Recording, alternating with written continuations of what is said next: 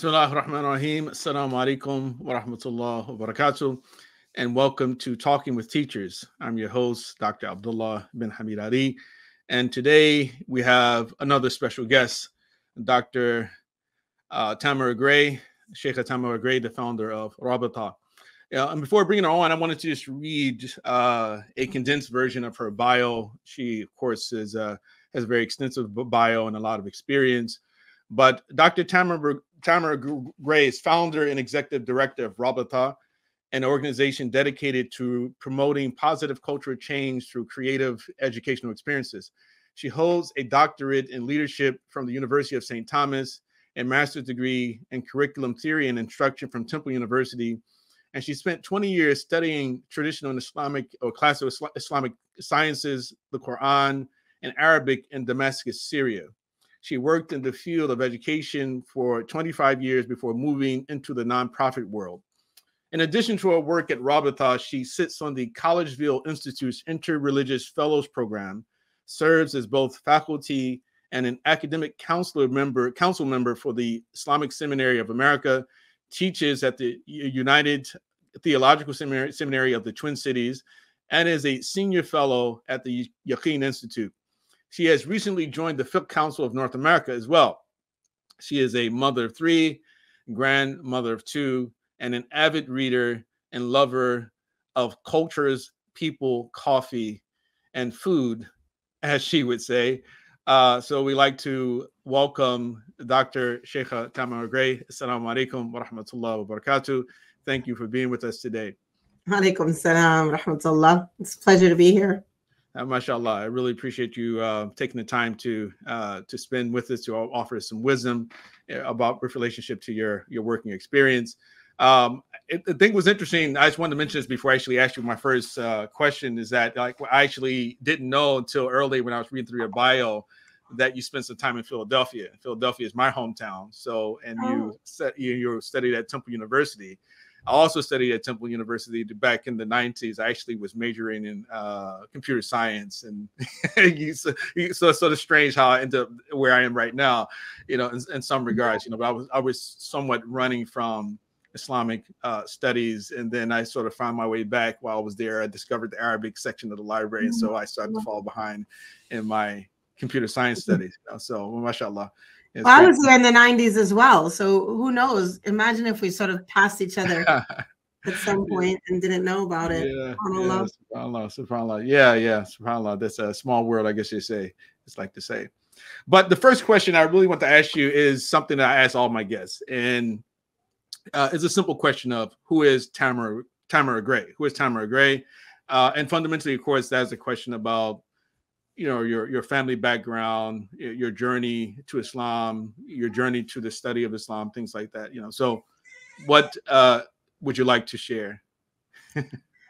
Well uh, subhanallah this question who is tamara gray? Hmm. it's i used to think about it a lot because when you live in another country people ask you this question you have to answer it in a second language. So I, I, used to like work on in my in my thoughts what are the easy sentences what can i say that will answer that question mm-hmm. quickly but i've been back here now for about 10 years and i think that as you age the way you define yourself or even remember what made you who you are changes a little bit and so back in the day i used to really emphasize four strands mm. that brought me to where i am and i think i would i would add a fifth now which is good because i like with Mm-hmm. But um, so these four strands are first of all, I was raised in I'm a, I come from a very typical suburban uh, 1970s background.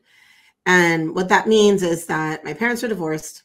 I lived in the suburbs. Mm. I was um, uh, what else does that mean? I, I was very, I was like, you know, the extracurricular activities and all this kind of stuff. Mm-hmm. And second it means and i now second is i was a christian. I was a practicing christian. Hmm. i grew up a practicing christian much more than the rest of the people in my family. Oh, okay. so i i was like a devoted christian you might say. I was even a little bit i was pretty young but i was a little bit on the um missionary type missionary brain missionary brain you know. Right. i was the one who once in a while who would say to that person eating ice cream are you are you saved okay. um, but I mean that actually informed my my journey, so it's important to mention it. Mm-hmm. And then I also was very much involved in the theater, and the reason mm-hmm. I mention that is because, uh, subhanallah, like that experience in the theater and things like this gave me a lot of confidence in front of people. Mm. I didn't have hesitance about going in front of people with anything. I mean, I, I started speaking early on after I became Muslim. Mm-hmm. And then the fourth one is I was raised in a house in the 70s in a household where my mother was very much interested in the feminist movement. And the word feminism in our community is such a scary word today. But back in the day, uh, feminism was really about um, it was about well my manifestation of it it was about equal pay for equal pay for equal work. Mm-hmm. and it was also the 80s the early early 80s was there was a brand new movement which was against sexual harassment in the workplace. Right. So those two things are really important to me. Yeah yeah. And that also influences my journey. So those mm-hmm. four things and i think that brought me to the place of where i was able to convert those four things. So how the being raised as a suburban white girl um, meant that I wanted to get out of there. Like I was dying, dying to get out of suburbia. Mm-hmm. And it was a whole thing in my head. But then I applied for a university that was close by. So I ended up going to a local university, Macalester, very good school. And I was really blessed. I had a full scholarship. So my stress about money, I was able to kind of put that aside mm-hmm. and go to university, which was really a blessing. Yeah. Uh, second, coming from this Christian background, the summer before I went to university, I had a my my sort of feminism and Christianity mixed, mm-hmm. and I no longer I felt com- I no longer felt comfortable worshiping a man, like as in a human man, right? Yeah. And I was really struggling. And remember, I'm a very religious Christian mm-hmm. at this time. Mm-hmm.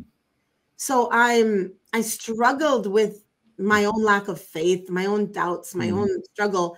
And at the same time, I was struggling with the idea of which of course now we all know. I mean, of course you should struggle with that. But right. at the time, I was struggling with the idea that I'm worshiping a human being, mm-hmm. man. So that summer I struggled a lot and I still did all my Christian things. I was still at the camp. I was still um, mentoring younger people and mm-hmm. things like this. But by the time I got to university in the fall, I was still seven, I was 17 when I went to university. Mm-hmm. By the time I got to university in the fall, I was a mess, a, a spiritual, theological mess. I wanted to solve it. I like to solve problems. And so I, oh, I forgot to mention, I mentioned the theater piece. There's another piece I usually mention, so I'll just make that five. We can always add another one. Mm-hmm. I was really interested in brain stuff. Like I love to read. I was a really mm-hmm. good student. I was um, interested in, in, thinking and philosophy and religion and all this kind of stuff. So I thought I'm going to solve my problem through uh, my brain. Right. So I mm-hmm. signed up for a couple of classes. After three weeks, I couldn't be Christian anymore, and then I launched my, uh, you know, proverbial search and I became Muslim January of that year. So the mm-hmm. next year, of course, with that school year. And when becoming Muslim, the piece that I said mentioned about theater and also Christian, all of it together really kind of mixes mm-hmm. up. Mm-hmm. Is when I was becoming Muslim, I read the Quran. I didn't read the whole thing, but I read uh, uh, and so I opened it actually to Surah Al Ahzab in the Muslimin wal Muslimat this verse. And I was so taken by it. And I was taken and, and really kind of overwhelmed. Mm. And I said to myself, subhanallah well i didn't say subhanallah at that time but something right, yeah. yeah um this is this religion has a real place for women mm. and i said oh too bad the muslims don't know mm-hmm. and then the I mean, that was my, you know, then the third piece was in my head was, oh, it's okay. They, they need someone to teach them, which of course I thought was me. I wasn't even Muslim yet. Just so my like too mm-hmm. much uh, mm-hmm. confidence in all of that. But that's that's because of all those pieces that came mm-hmm. with me. Mm-hmm. Um, then I started on the path of Islam. It was 1985. It was a very difficult time to be a Muslim woman in the United States at that time.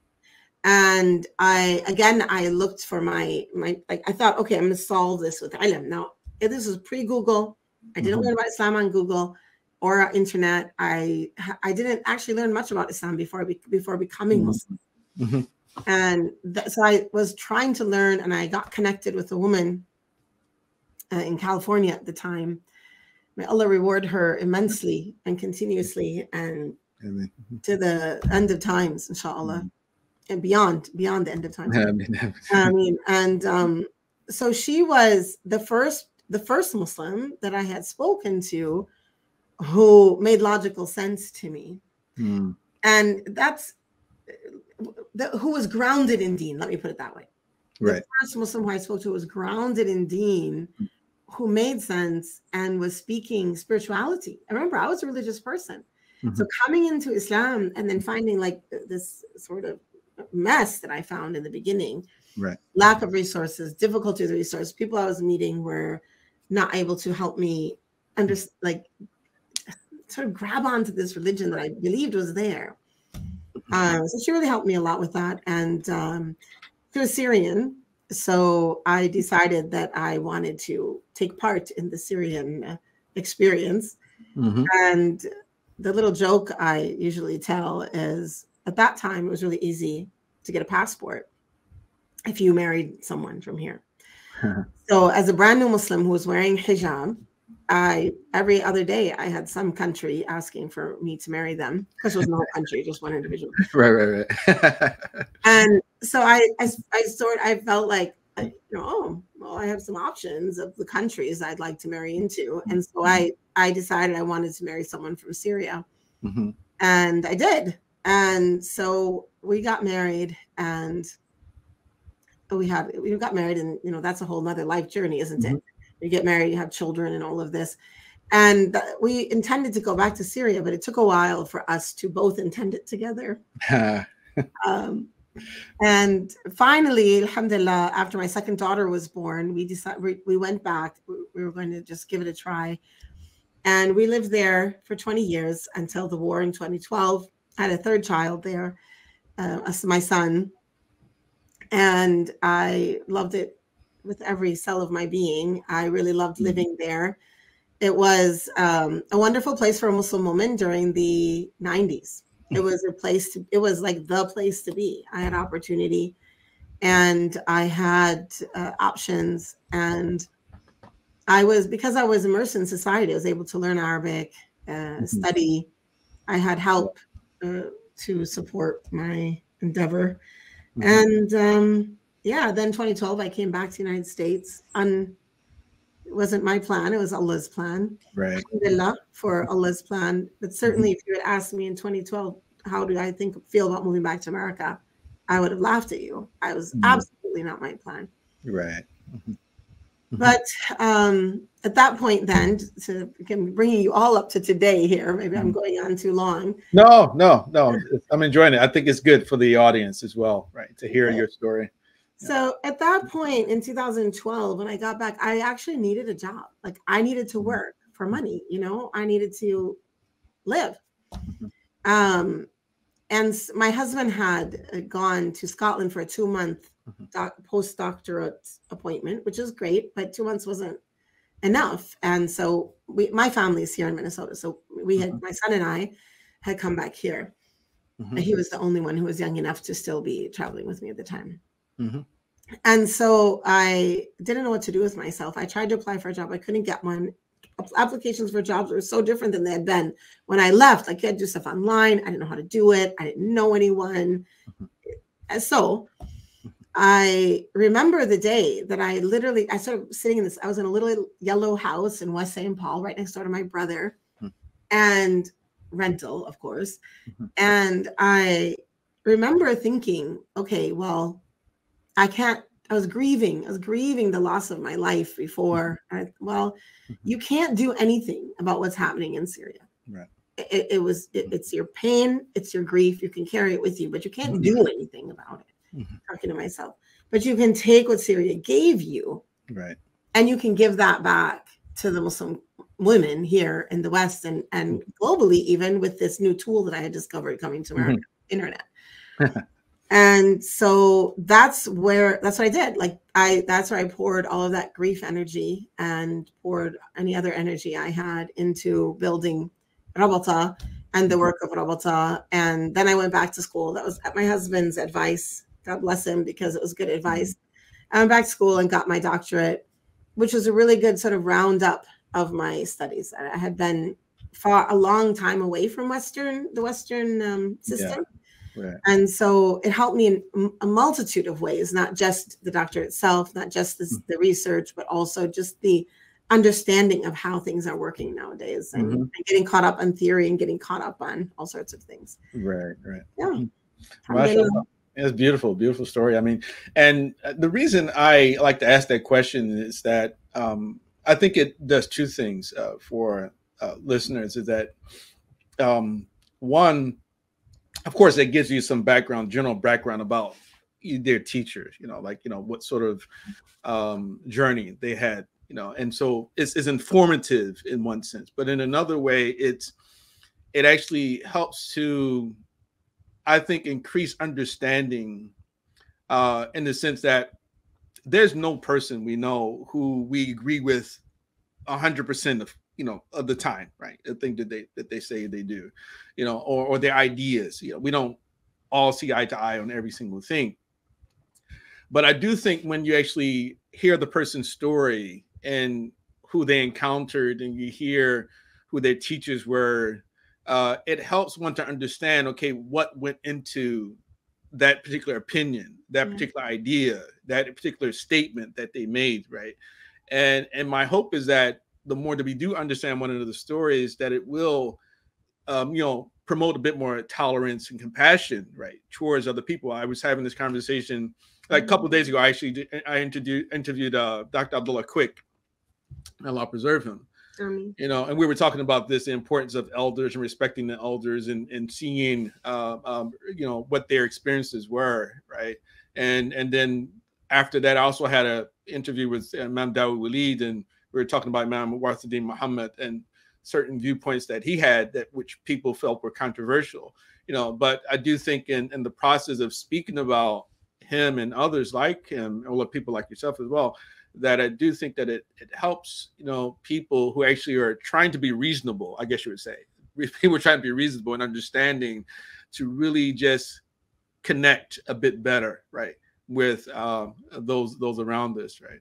So um, so yeah, yeah, that's that's what that's why I think is awesome. important, right? You know, so and I would say before I even go into ask you another question is that one thing I do appreciate about about yourself is that that you know unlike a lot of people, right, that I've come across, you know, who actually in the realm of Islamic teaching, um, I find a lot of people, and again, I'm not trying to, uh, you know, stereotype anyone, you know, but but there there's too many people I consider to be a bit pretentious. Uh, you don't come off as a pretentious person to me, right? You're you're very uh, you're very open, like you know that you you you be, very genuine about you know how you feel about things. You know, and of course that can get people in trouble at times when you're just too open, right? You know, so it's like, oh, what's going on here, right? But but it's I, I do think that that's what Allah demands of us to be honest with mm-hmm. everyone. You know, we can work through misunderstandings, right? You know, but I do think that is an important characteristic for any teacher to have um, is to be uh, just honest and and and, and just be, be just genuine, right, with everyone they interact with. I appreciate that. Thank you. And I'm I certainly yeah, I just appreciate that. Thank you very much. Yeah. Right. Yeah. So so you said you grew, grew up as you know this sort of missionary you know, little Christian girl and and uh, you know, but you you mentioned you said that okay, your family, uh, other members of your family may have not been taking Christianity as seriously seriously as yourself um, you know, but but would you say that like your family generally were like religious, you know, you know, just you happen to be a bit more religious than others? yeah. uh, my father, the joke is my father used to go to the church of Sunday football. Okay. Okay. So, my mother, I think she all I think back in the day she really was a a deeply religious person, but she wasn't very vocal about it. Mm-hmm. She was definitely the one who took us to church. Mm-hmm. And as a child, she had been involved in Christian things, mm-hmm. but she wasn't uh, very vocal about those inner mm-hmm. feelings and those inner thoughts. Uh, mm-hmm. and she has been always very mm-hmm accepting of me. So mm-hmm. the, the, sort of type of Christianity where you're very, very sort of extreme, mm-hmm. it's really tough to accept a child becoming a Muslim because that really crosses against their hope for the akhirah. Mm-hmm. So my mother has always been very supportive of me, as my father has too. And so I would say that no, I didn't come from a, a, your mm-hmm. typical sort of definition of religious family. They mm-hmm. were more just middle class. Um, struggling to get along, wanting to be it's a sort of typical I'm an American, I'm a Christian, good person kind of people, not the mm-hmm. more uh, attached to a particular denomination or something like that. Yeah. Right, right. But what, what also resonates with me from what you said was the fact that you had encountered Muslims who were um, I guess you could probably a probably a good way to describe it would be sort of Muslims who embodied, embodied Islam. You know that once you encounter the Muslim who embodied Islam, you know, yeah. and it was more than just like that superficial, um, you know, focus on the mechanics of each particular pillar of Islam, you know, and those ideas and the details. You know that that in itself is what really sort of touched you, um, and, and it, it brought to brought them to mind um, years ago now, I was raised Muslim. My, my my parents they came through the Nation of Islam, you know, but but you know they didn't know a whole lot about. Well, my mother, I would say, you know, my mother wasn't as serious in her studies of Islam as my father was. Uh, you know, but I remember I used to try to convince my mother to read certain books. I would always give her books that were related to like the five pillars, a god, things like that. And she would never comment, you know, until one day I gave her a book uh, Purification of the Soul. That was the only book that I gave to her. She said, you know, that was a good book, right? You know, so in other mm-hmm. words, it's like people wanted more than just the dry yeah. sort of, you know, um, mechanical uh, practice of religion, right? You know, 100%. percent mm-hmm. Right. So, so, so why don't you speak, tell us about Rabata? I mean, what is it about? How did it, you know, how did, how did it come, come, come about and, and, you know, yeah yeah. So when I got back, when I came in 2012 to the mm-hmm. United States, I thought I was coming for five months. I told my job actually, I said, listen, i am going to be late. I was working as academic director of a school. Mm-hmm. And I said, listen, I'm going to be back late for the start of the school year. You're just going to have to start without me. Mm-hmm. I'll be back in October, which is the biggest joke ever because here I'm still in those five months, mm-hmm. 10 years on. Mm-hmm. But uh, 11, 11, subhanAllah, it will be 11. It is mm-hmm. 11 anyway, so when I came back in 2012, mm-hmm. I was in my we went that that summer, it was Ramadan. And I was staying with my mother still, like my parents. I hadn't rented the little yellow house yet, or I hadn't decided to. Mm-hmm. And Ramadan was coming, and my students. So I had had some students that were here in America that had come to Syria, and they said, "Listen, you're here. Let's do a tour. Let's introduce you to other Muslim women." And I said, okay. And I said, let's do it in Ramadan. Don't even, I mean, I don't even know what I was thinking, but I know what I was thinking. I was thinking, ah, do I really want to be like at my mom's house in Ramadan when my mother, God bless her, supportive, but always worried about drinking water until today. Mm-hmm. Go to the water police. so I went out. So I went in Ramadan and I went to 69 cities, spoke in 69 cities, and met Muslim women mm-hmm. all over mm. the United States. Mm-hmm. I was really surprised to see the status, not the status, the state of Muslim women in the United States. I had been gone for 20 years, and I my expectation is that the this the the the well the, the education, the confidence in deen, the feeling towards religion would have changed drastically in those 20 years. And I found zero change from when I left in 1991 mm-hmm. or 92 or whatever the year was that I left.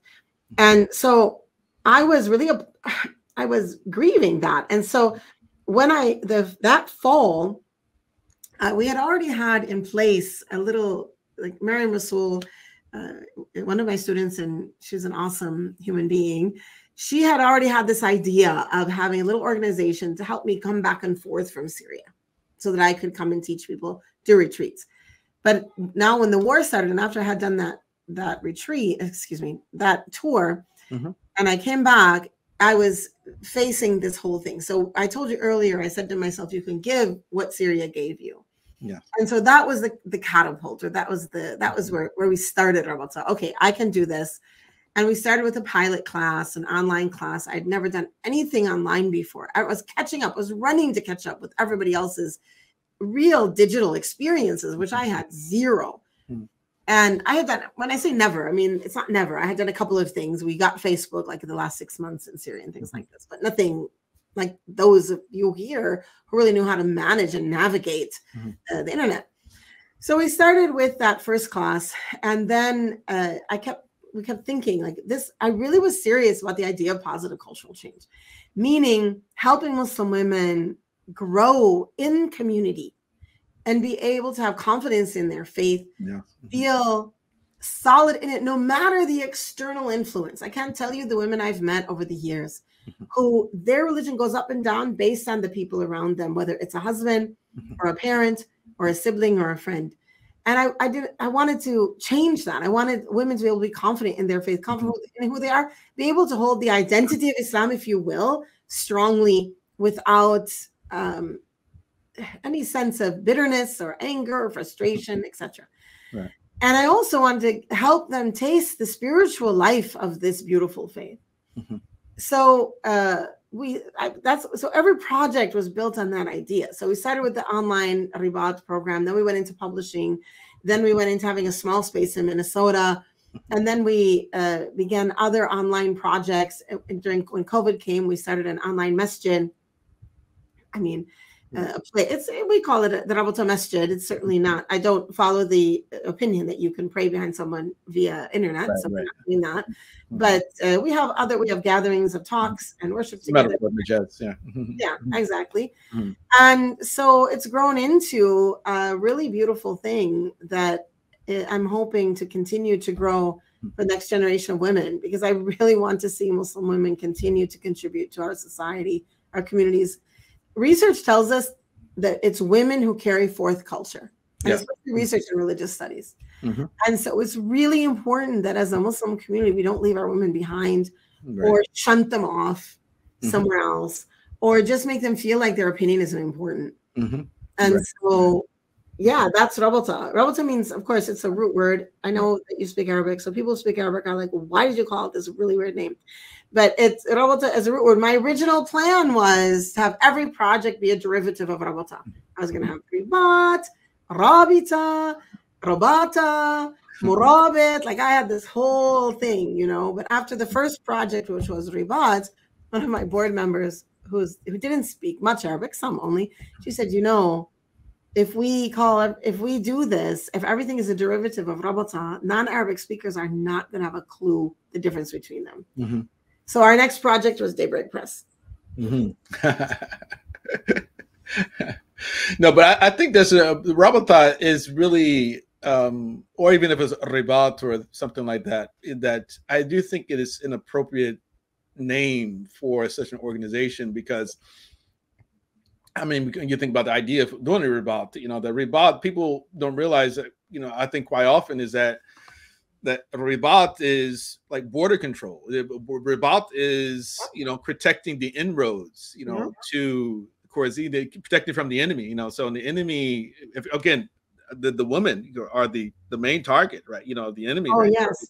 Right. The cultural wars. I mean, where are the cultural wars landing? They're landing at our doorstep. They're landing at our feet. They're landing with our children. They're landing in school. Mm-hmm. And so, this concept of positive cultural change mm-hmm. is to we want to be ready to be for that. I mean, the cultural wars are going to happen and mm-hmm. what the purpose of them is going to change mm-hmm. but we want to be ready with our culture mm-hmm. to be strong in our culture yeah. so that we're not swayed right and left mm-hmm. ourselves and our and our children our families Right. So yeah, it's really critical. And yes, and rabata also you can say that means to bring together, to tie right. together. Right. So, right. and it's a verb. I like the verb thing because I'm all about action. yeah, inshallah. yes. So on average, what's the uh the the the normal class size for one like lesson or lecture that you give? Yeah. So our online classes that are the level one classes go up to my classes, the average is probably 100 students. Okay. That's great. Yeah that's not we have once in a while uh, smaller classes for the upper levels because they need more i mean that's when we're doing a different type of work isn't mm-hmm. it but those level one classes are around 100 mm-hmm. the higher high, we've had higher but we don't like it to get too big because it's not about mass teaching as much as it is about mm-hmm. merely also creating a space where women can interact about their learning right well I'm, another another question i think is um an important one to ask too is um, in light of the fact that you've been focusing only on women, um, have you experienced or continue to experience some resistance to that? Because naturally, we know uh, once, um, of course, a lot of brothers in the community were uncomfortable with that. It's not something that people are accustomed to seeing. You know, it's like, well, you have this this woman. She went, she studied many years in Syria, mashallah, a legitimate scholar, and now she comes home, and we know her background in feminism right? And you know, oh, right. And so it's right. So it's like now she focuses. Why is she focusing only on women, right? You know, so what is he? What is he trying to do, right? And so I mean, how would you respond to someone who would even um, bring something up like that? Right. I don't usually get that response. Okay, but, um, great. Yeah. But I, but when I do, I mean, and I think that you know, I've been very honest about my background in feminism, mm-hmm. and yeah. it has influenced me, but it hasn't influenced me in this sort of mm. Bitterness yeah. that mm-hmm. people talk about. Right. It's influenced me in my, as I said, it helped my journey, helped my ability to see mm. the role of women in Islam, that Islam mm-hmm. has a place for women. What a blessing. Right. And I mm-hmm. think that the whole by women for women thing is a very important thing in our faith. We have to be able to grow. Mm-hmm. I think what I would say to someone who said that to me is that I I don't have any I don't have any doors that are closed, you know, any anything except for this space where women can share and talk and mm-hmm. grow together. The usual complaint I get actually is that's not fair. We want to attend your classes. that's ah, the okay. usual one I get. Right. And for that, I say there are a lot of other options out there, you know. Mm-hmm. And so I'm that women have been blocked from for years, mm-hmm. or even if not blocked, mm-hmm. but it hasn't been the the opportunity. You know, I had a group from Texas tell me mm-hmm. come and come to me and say, we have so many scholars down here, mashallah, mm-hmm. but and they're and, and they're great, and they're, you know, alhamdulillah for this, but we don't know what to do because they give a talk and then the brothers get to go and hang out with them, play basketball, and we can't, and we feel left out. Mm-hmm. And so I I would like to provide that for women that yeah. they can. Maybe I'm not going to play basketball with them, but we can we can do the other, you know, the things that, that maybe they'll like to do. I'm, I'm, sure lots of women like to play basketball. It's just not my thing. Mm-hmm. But you know, just like the hangout is they're talking not talking about the basketball anyway. They're talking about hanging out. Right. They're talking about mm-hmm. the learning that happens between the lessons. Mm-hmm. And I think that's a very important thing for women to have an opportunity to achieve. Mm-hmm. And so I think it's really important. Now, right. I do teach at the Islamic Seminary of America and mm-hmm. When men come and tell me you don't teach, for, I say, well, if you really are desperate, you can go sign up over there. But mm-hmm. otherwise, everything else that I do is uh, by women, for women for the most part, 80, 90%. Alhamdulillah. That's great to hear. Great to hear. You know, and, and I and I definitely want to also just uh, just acknowledge that um, I've known, you know, from my interaction with you, you know, over the years, is that you know that when it comes to your past with respect to feminism that I had never detected any type of bitterness from you. You know, it's just okay. Well, I know this is something I know, right? You know, and you know, and so definitely they did have influence, but but I'd never detect since you as being an individual who was uptight about men, right? And right. Nabi sallallahu alayhi wasallam. That's right. I mean, this would be this yeah. would be um no, I, I think though that I I mm. do bring, mm. if I'm honest about it, I do bring a a demand sort of for Muslim men to stand up and be Muslim men and yeah. not to sort of hide behind mm-hmm. verses or hide their own issues behind verses of the Quran or verses of the Prophet. To look at the whole picture of who the Prophet was, mm-hmm. who were the early men. Mm-hmm. And and I and I say the same to women mm-hmm. that we also need to, and we do, we used to do, we do still this mm-hmm. award that we do. We are Khadija, mm-hmm. and we are with others. We are Nusayba, others, mm-hmm. and may Allah subhanahu wa pleased with them. And one of the things I was trying to do with that is that we are, as an ummah, as women, it's easy for us to say, yes, I want to be like Abu Bakr. Mm-hmm. But men, as far as I know, and I don't know, maybe you'll correct me, mm-hmm. as far as I know, are not always looking at people like Khadija anha or Nusayba anha mm-hmm. Or uh, Shifa or mm-hmm. Or these women mm-hmm. and saying, oh, I could be like her in this way too. Right. Right. And I think it's important for us to recognize that all of the companions of the Prophet ﷺ are important for our lives mm-hmm. to learn from. We need to look at the Prophet ﷺ through the eyes of those who loved him most, and those are the men and women who are around him. Right. And so maybe that's where my influence comes, just to remember the women, my right. past thinking around that. Yeah. Right. So it's beautiful, beautiful. I mean, there there are so many women, of course, you know, who have been important and pillars of uh, Islam for for for many many centuries. Um, great are great many scholars who we often acknowledge, the male scholars even who had you know you know female teachers. Um, and one important personality that you wanted to focus on today was um, Nana Asma'u, um, rahmatullahi alayha. Mean, you know, so why don't you tell us a little bit about who she was when she lived and why you consider her to be an important uh, personality uh, who more Muslims need to know more about? Well, I just love this opportunity to talk about her because she is so awesome. And I'm all about education. I mean, I'm the kind of person who Mm-hmm. 30 years ago sat down mm-hmm. and thought about my life mission and how education is going to be how education is the key to to make the types of changes that need to be made etc mm-hmm. so nana asma'u is she's an amazing person she didn't live that long ago and that's the thing she was born in 1793 so think about that i mean that's not that long ago 1793 right. and she was born in the sokoto khalifa Mm-hmm. Her father was called the Sheikh Usman Dan Fodio. There are some people who say that her father was a mujaddid, mm-hmm. and there during her lifetime, there was a letter that was written to her by another scholar that spoke to her as though he believed she was the mujaddida. Mm-hmm. mm-hmm. And so I'm and I'm fascinated by her life because she was a great, great scholar, but it wasn't just scholarship. She was also what we call today sort of a practical she was very practical in her application of her scholarship and concerned about the ummah and the future of the ummah.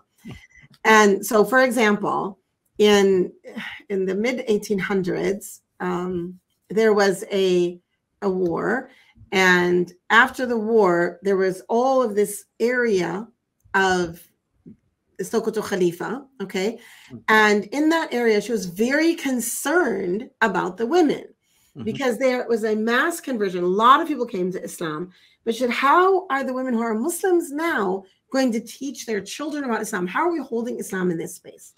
People became Muslim, Alhamdulillah. What's next? And it was really difficult because there were little villages all over the place. And so, and how do you get there? How do you tackle issues of literacy? How do you tackle issues of language, the Arabic language?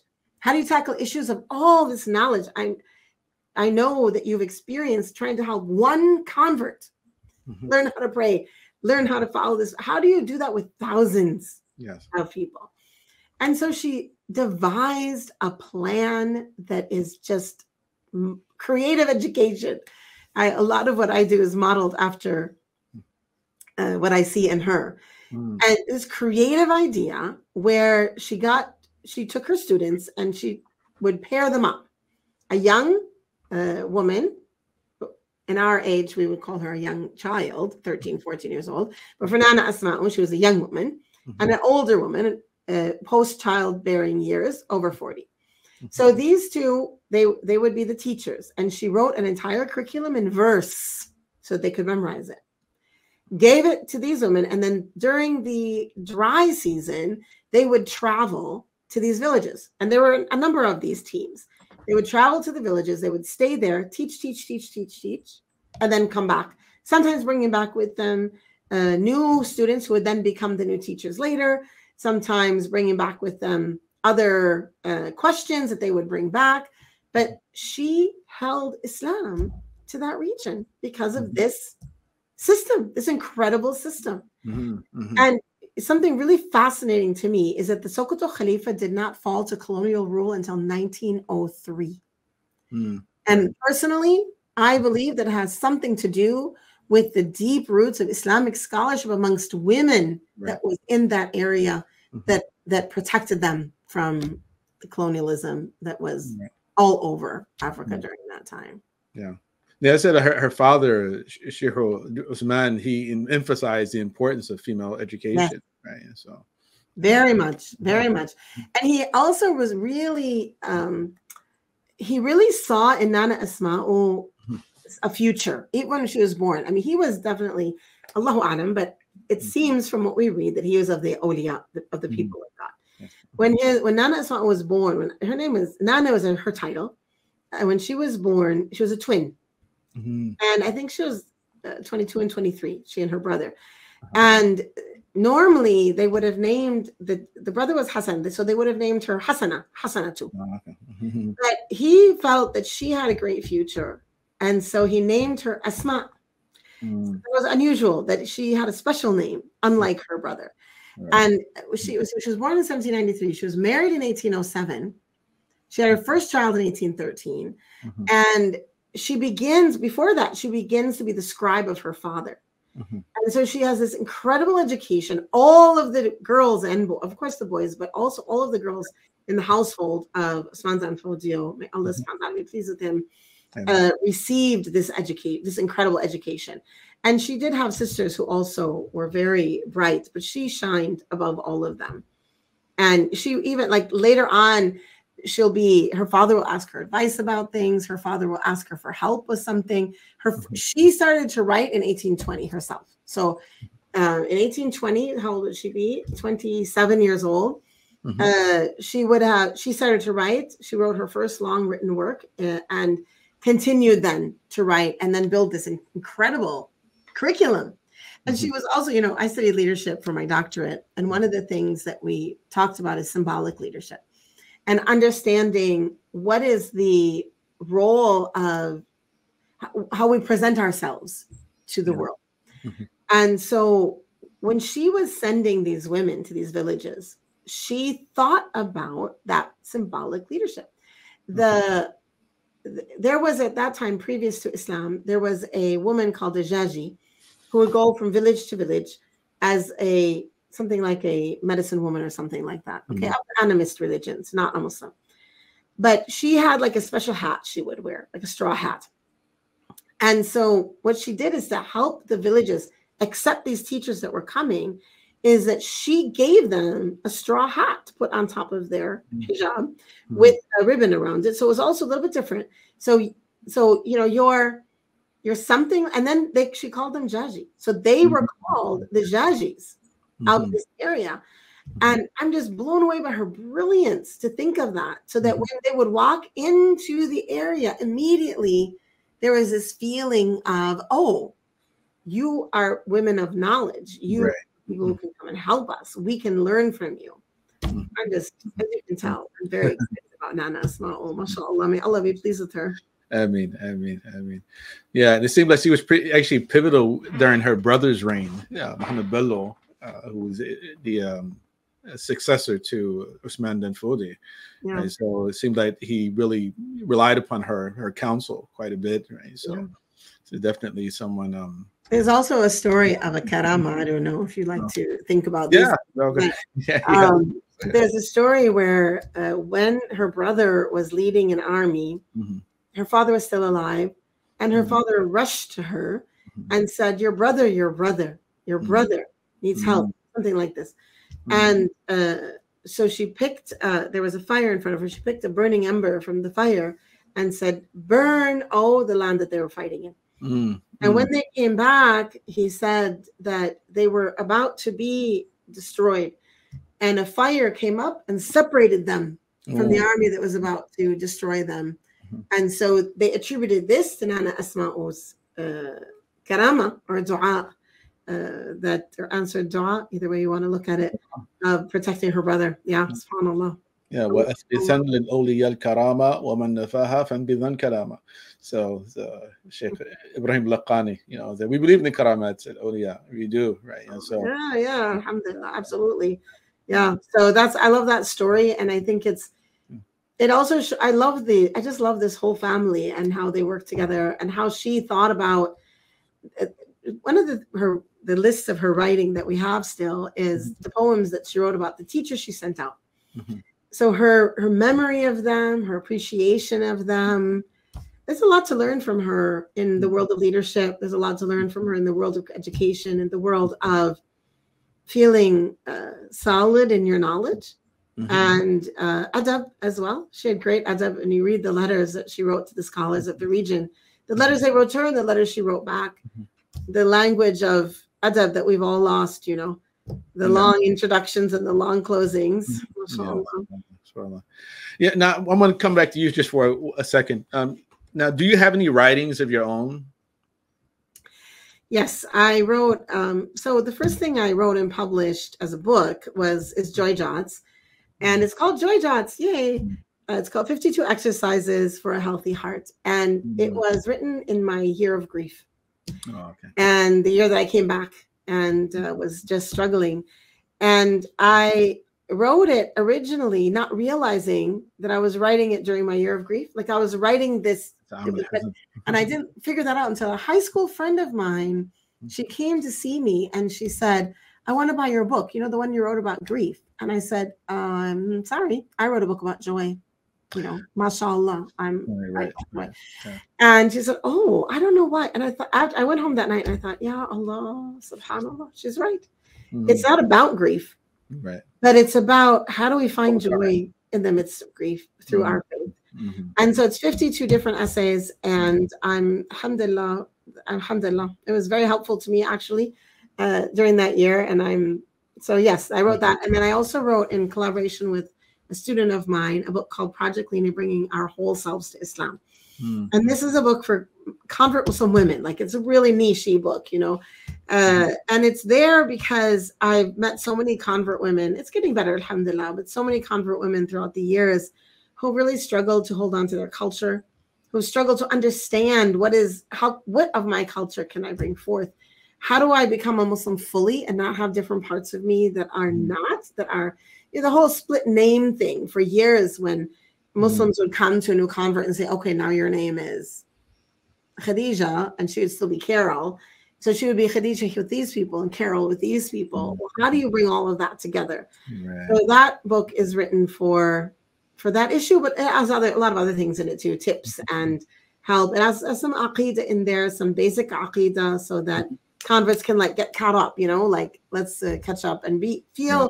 confident in their faith because they became Muslim as confident people, and then mm-hmm. they kind of dwindle somehow, feeling concerned, worried about their their um knowledge, I guess, really. So, mm-hmm. and then I worked as a, on a translation of a book with my uh, with Anse Renda Mardini and Anse Sosan Imadi.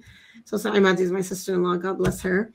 And we worked on the translation of Jami' fi Sira Nabawiyya, Mukhtasar Jami' fi Sira Nabawiyya, which mm-hmm. is the um, compendium of the prophetic narrative written by uh, Samir Zayed. And that was a labor of love, to be sure. That wasn't a book that I authored, of course. It was part of I was part of the translation team, mm-hmm. but it was it really the the work of translation. I find it a deepening of items. So even though I had yeah. studied, you know, yeah, for so, many years, mm-hmm. I changed my connection every incident, every everything. Subhanallah.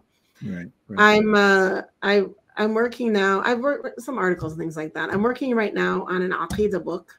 Mm-hmm. Oh, really? Okay. Textbook. My the concept there is a textbook for our program, and then for anybody else who needs it. Every time I try to get an Aqidah book to teach from, I don't find one that is fitting my needs. Mm-hmm. So mm-hmm. I'm hoping that this will get done, right? I mean, that's the first thing I hope that it will get right. done. Right. And right. then I hope for qabul that it will be something that's really mm-hmm. useful to students uh, mm-hmm. everywhere. I have a number of projects actually. I really, uh, writing is something that I I enjoy and I I have a system, but I so I like to do it, but um yeah let's end and i i just i'm actually trying to work out my schedule so that i can do more of it I, I think it's important too yeah, but you're doing so much. You got, I look at your bio and everything you're involved in. May Allah subhanahu wa ta'ala to continue to put blessing in your barakah in your time. Uh, you know, so your books, you know, they're available through your website, or Amazon or some other uh, outlet. Or... All of those, except for the compendium, the translation is only available through us right now, as far as I know, um, just because of the printing issues. The original print is complete, and so now mm-hmm. the the second print, which is not, it's just a print, it's not a different edition. Is um, only available through us here, and then uh, there will be another a new edition coming out maybe next year. So, okay. Mm. okay, so you could you mention like your website address and any other uh, ways that people can follow your work? Yes, uh, our web- website is rabata.org, R A B A T A.org. From there, you can find our learning management systems for Ribat, our online educational programming. You can find our bookshop.rabata.org there as well, which is where you find not only our published books, but also a curated collection of books that teach uh, both, you know, books from Ahl Sunnah Jama'ah that we try to really choose the beautiful books, but also we have books that are important for Muslim women, some of them being around how to run a nonprofit, how to manage your time, and things like that. And a, a large collection of children's books as well. And uh, all of that at rabata.org. And I'm on all the things. I'm on Instagram, I'm on LinkedIn, I'm on Facebook, I'm on, I'm not so, you know, I was on Twitter. I really liked Twitter. And then it became X. And I'm just like, what in the world? Like, I don't know. Like I'm a word person more than a picture person, so I really enjoyed Twitter, and I'm just kind of like, I don't know. Are you working? Are you on X? Yeah, yeah. I'm actually, yeah. I I still call it Twitter most of the time. Um, yeah, but yeah, I'm still. I'm actually more active on X than I'm on Facebook and other other places. Yeah, that's how, that's what I used to be. Yeah, because I yeah. enjoyed it, and I'm just feeling yeah. stuck. So yeah. I, maybe I'll just get back on if that's if you yeah. just, just yeah. I think yeah. For me, it was different because like I was being censored on Facebook and Instagram for certain things they post they didn't like. Mm. So, but but with when Elon took over, it he, you know it made it easier for me. So I, I, wouldn't be sort of uh I'm not being censored at the moment. So I, I just say okay, I'll, I'll just use that mainly. Yeah. For, gotcha. For well, I might. And then there's Threads. Are you using Threads? No, I've, I've heard about that. I haven't, you know, really had a look at it yet. It's really it's mm-hmm. Twitter uh, on. It's, okay.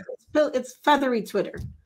Okay, right, right. Yeah, that was sort of like the offshoot. You know, people got upset with Elon, and then they decided they started thread. Okay, that's right. Yeah, I remember hearing about that. Yeah. Yeah, it's like a uh, softer Twitter. Yeah, Soft. yeah. But I mean, again, I haven't. I've been kind of, yeah. sort of, I don't know, but I am in all of those places. At time yeah, yeah. that's where you can find me. All those places. Okay, okay, alhamdulillah. I appreciate that. Yeah. Uh, any any closing um, words of advice or counsel for the community uh, before we? Uh... I think it's really, I, guess, um, I always have so much to say. Uh, I think it's really important that we always remember that wherever we are and whatever's happening in the world, that we have to stay focused and not mm-hmm. And not fall into any tricks of shaitan to distract us from the focused goal.